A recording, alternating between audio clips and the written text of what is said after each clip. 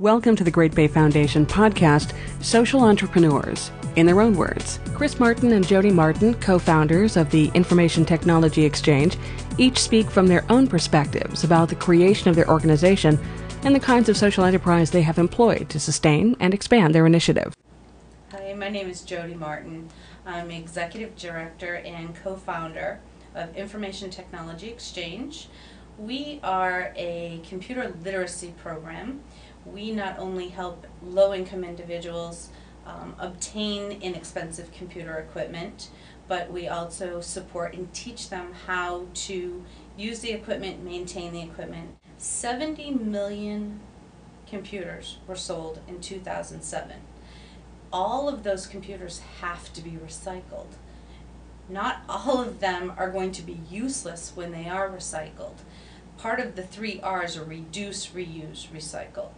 Where we take that computer equipment that nobody wants, we refurbish it and give it to those in need. Uh, my name is Chris Martin. I'm from the Information Technology Exchange. Um, our purpose is to provide or increase computer access and literacy. Uh, we started the project about six years ago, uh, but the ideas had come from well before that. Uh, I've been in IT or information systems for probably, gosh, I'd say 17, 18 years. And at every company I'd ever worked at, we always had this little boneyard of computer equipment um, people that I was working with who were interested in learning more about different job positions, either design, uh, computer assisted design, engineering, or anything like that.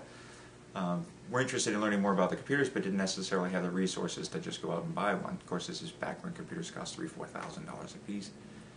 So I'd go into the boneyard in the IT department and build machines for them. This started all about 12, 14 years ago in New Hampshire um, it was successful for probably 10 or 15 people who I would watch go through the ranks in the companies I was working with because of their new skills.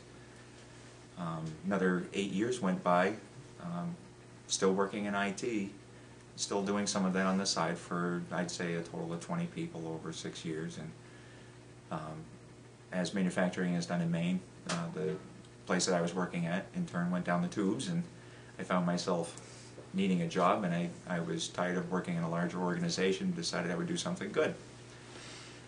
And ITE was kind of built out of that. So we decided all these companies have this problem of surplus computer equipment.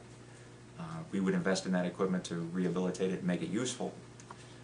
Uh, the first 50 people that we put through ITE were uh, free all the way through it, no fees more or less guinea pigs for the project so we could figure out what the shortfalls of the project would be and what the program would need to sustain their technology.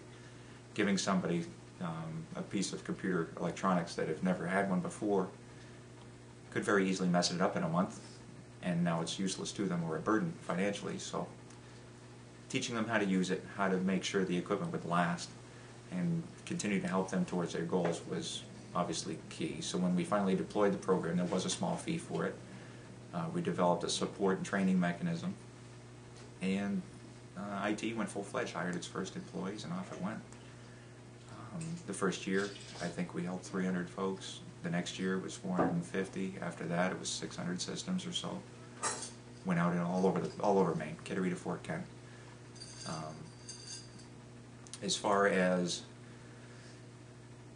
ITE's future is concerned, we find our best results, our best outcomes are within 45 to 50 minutes of our location because folks who need support to continue to meet their goals with the equipment um, aren't going to drive two and a half hours with it. A lot of the folks we work with don't have transportation or they need to depend on others for it.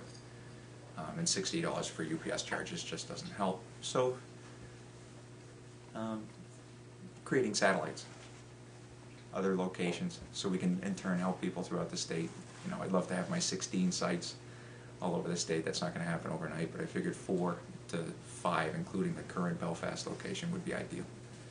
To learn more about the work of the Great Bay Foundation, we invite you to visit our website, www.greatbayfoundation.org.